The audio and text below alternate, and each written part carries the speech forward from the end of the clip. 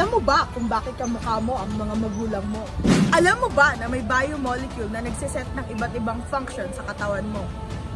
Kung akala mo firefly lang ang hayop na umiilaw, nagkakamali ka. Lahat ng yan ay matututunan mo dito sa Matang Secret! Ba't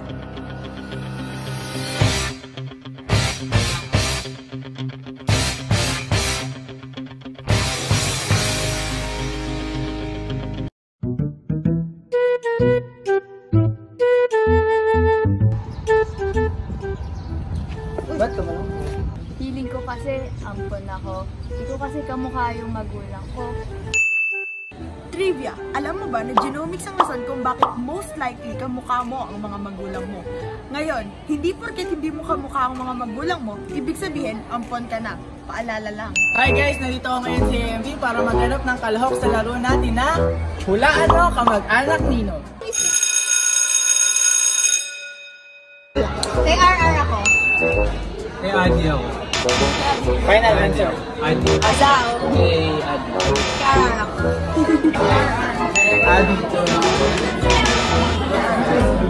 RR? Ati. Kay RR! Wey, mukha pang lahi mo yan! Kay Angge. Angge. Angge. Angge.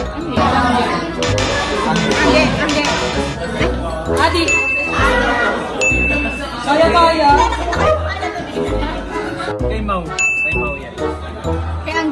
Mau. Mau.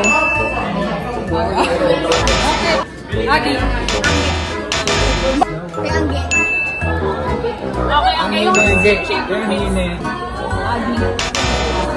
Mau. Angge. Nakita ko sa vlog mo kaya? Angge! Trivia, genomics, a branch of molecular biology concerned with the structure, function, evolution, and mapping of genomes. Proteomics? Trivia, proteomics involves the use of technology for the identification and quantification of overall proteins, present content of a cell, tissue, or an organism. Ah, proteomics. Di ba yun yung nagbibigay ng function sa mga cell natin? Try nga natin kung gumagana yung atin. Paano? Mag-sense game kaya tayo. Ah, sige. Sa'yo sa taste, ako sa touch, tapos ikaw naman sa smell. Game! Number one. Oo nga. Number one.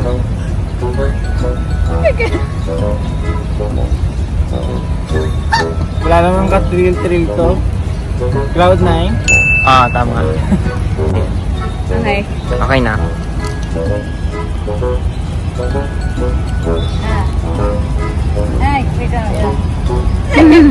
Gami ba to?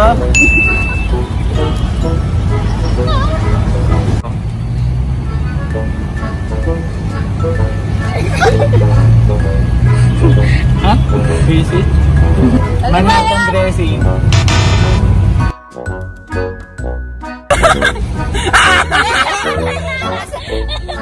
Ba't daliri lang? Daliri lang! Ano ba yun? Ah! Yuck! Slime! Ano to? Dugyot! Ano to? Ketchup! Basta sauce! Ang dugyot ko! Glue? Slime nga. Ah, ano ba yun? Oh, dapat pwedeng slime.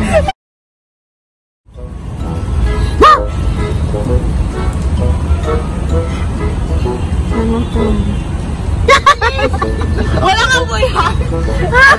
Ito na yung mayonnaise. Ay, hindi.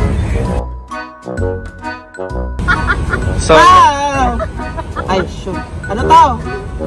Ba't hawakan? Ha? Ano to? Akin na. Kagalit. Napkin na.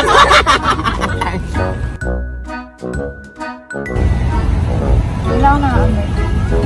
Kape? Kape! One point.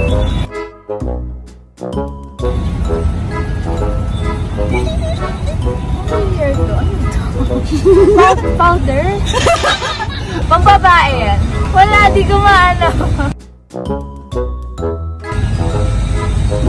Kabango. Bulaklak. Napkin. Hi. Kita niyo naman ako yung nanalo, ibig sabihin ng bulok-bulok ng protein. Ganun ba yun?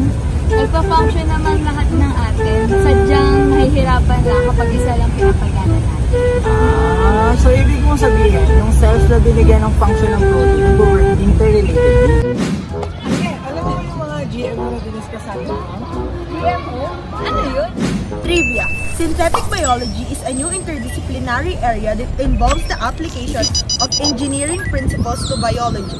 It aims at the redesign and fabrication of biological components and systems that do not already exist in the natural world. Eh alam naman kaya ng mga kapwa tumasya natin kung ano yung GMO. It's time for GMO or GMO!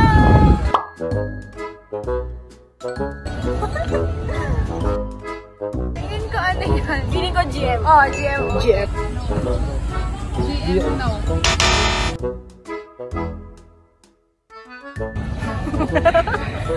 Feeling ko. Feeling ko. Feeling GMO. GMO. GMO. GMO yan. GMO. Okay, so Welcome. GMO. GM, GM, GM, no.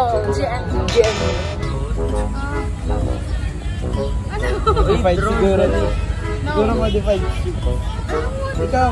Ikaw, Yes or no? Ikaw, no. Uh, no.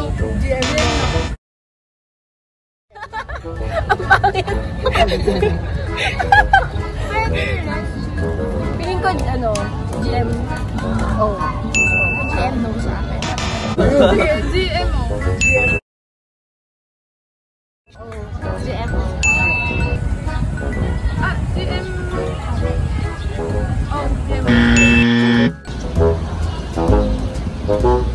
Ang dami talaga nating natutunan kay Ate Kim.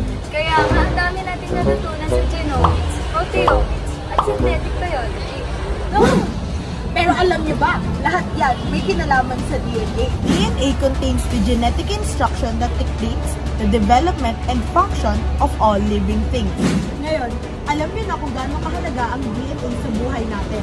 Kaya naman, bago matapos itong episode na to, ako si Ate Kim na nagpapaalala sa inyo na Maging mapagmatsyag. Mabanoy. at mapangahas. Matang tigre!